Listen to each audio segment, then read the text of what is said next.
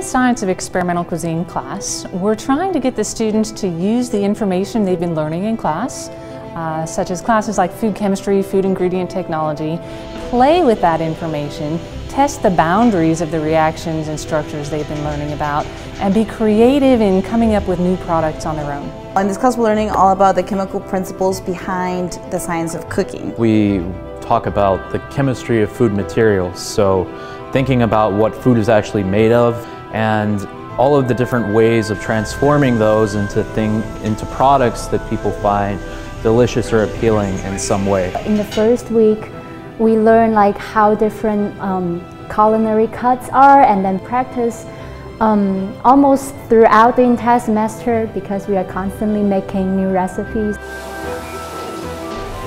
We try to do as much culinary understanding from sanitation to knife skills, kitchen organization, and then we manipulate the ingredients. So you learn the chemical scientific principles of molecular gastronomy, which I guess you could say that's like the ultimate scientific uh, form of cooking, right?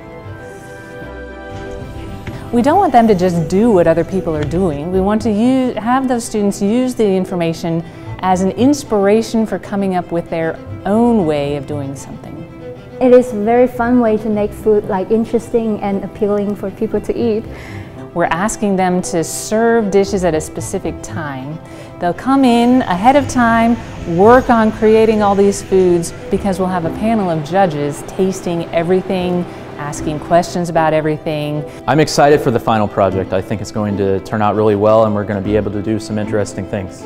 I am a little nervous just because um, what I'm making is uh, very traditional uh, in Mexican cuisine. I've never made it before. I'm planning to make a salad that is um, very fruitful flavored um, and with sunflower components in it. So my menu is inspired by St. Patrick's Day, but with a fusion component. Um, the appetizer will be um, a guacamole on uh, mango reduction sauce with blue corn cricket tostadas.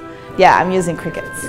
The judges are already wearing stretchy pants to get through the evening. I think I did pretty well. The judge seems like they are liking my dish. The plating wise turned out very well. I made the flour um, successfully. I think it went pretty well. It was a little more challenging than what I expected. I couldn't find a really satisfactory answer to my liking for um, how to get eggs just done exactly the way you want them to. It's actually quite challenging. And so, I don't know if you noticed in the model, but we have a piecewise linear function on the boundary of the uh, egg shell so that it actually will come down from around 90 to 100 degrees Celsius down to the sous vide temperature, which was 63.5.